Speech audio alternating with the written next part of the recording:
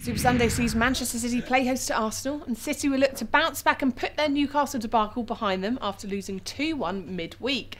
City have still got more wins and more goals than all of their rivals at home, having scored a formidable 72 goals in 19 games at the Etihad in all competitions this season. Arsenal may be superb at home, however, they have just two points from their last five matches on the road. And the Gunners have also conceded 61% of their goals in the first half, too. So I'm backing Man City to score first.